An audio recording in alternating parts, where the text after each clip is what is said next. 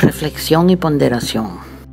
Anonadados y atónitos son palabras que afloran en pleno siglo XXI, a plena luz del día, en medio de la cotidianidad del ministerio. La vida del ministro Jorge Mera fue cercenada. Cuando me faltan las palabras está la poesía, y cuando he enfrentado la muerte de cerca, la vida manda que pueble estos caminos oscuros.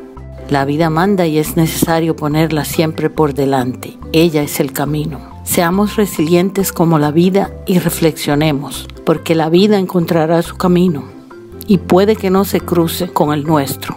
Reflexión para ponderar los pasos y seguir en el manejo de nuestra más de media isla es la que aún Vienen las horas, horas de cielo azul y de verano sobre la copa verde y un caracol de manos entre la espuma. Ese asiago lunes 6 de junio también fue hecho de público conocimiento por el Ministerio de Medio Ambiente el proyecto de desarrollo turístico de Pedernales, disponible por 15 días laborables en horario de oficina para que las partes interesadas puedan consultarlo.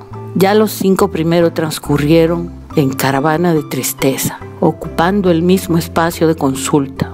Pero el futuro de la vida, por la importancia nacional de este proyecto, pido que el plazo de consulta del mismo sea ampliado, que sea publicado por partes o completo en la página web del Ministerio, para que todos podamos acceder al mismo y opinar informados que como en los casos de Loma Miranda y la cementera de los Haitises se busque la opinión del PENUMA y que se haga al menos una vista pública en Santo Domingo para dar oportunidad a los que no pudimos participar en las dos de Pedernales. Espero que la reflexión y la resiliencia se abran paso y aclaren el horizonte.